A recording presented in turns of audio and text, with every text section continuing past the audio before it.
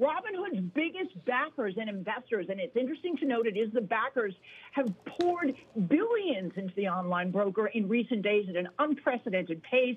Uh, the latest round of funding led by Ribbit Capital, including a team of others, including well-known Sequoia Capital.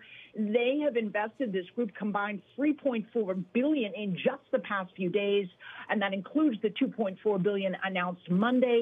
Reuters uh, is reporting that uh, Robinhood also speaking to banks to uh, get an additional 1 billion in debt that it would use to back uh, these heavily shorted stocks, which it needs to post collateral uh, with the big dog depository that oversees all of this.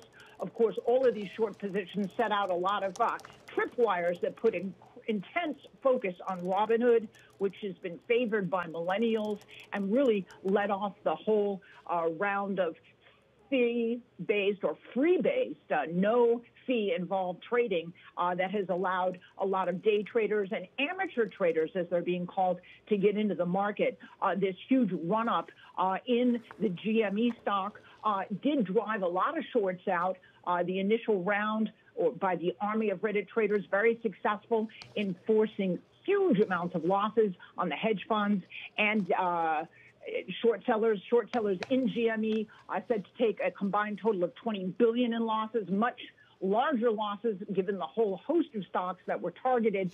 And we are seeing those short positions eased and many hedge funds uh, eliminating their shorts so they are not a target of this army.